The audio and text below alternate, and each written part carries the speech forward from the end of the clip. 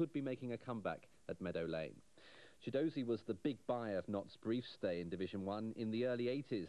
He then moved on to Spurs before returning to the East Midlands with Derby County.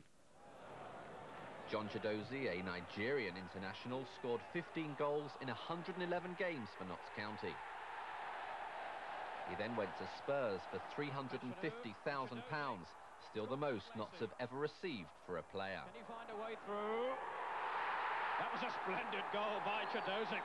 He then came back up here to Derby County, but he's been plagued by injury. Donaghy comes over, that's a great effort.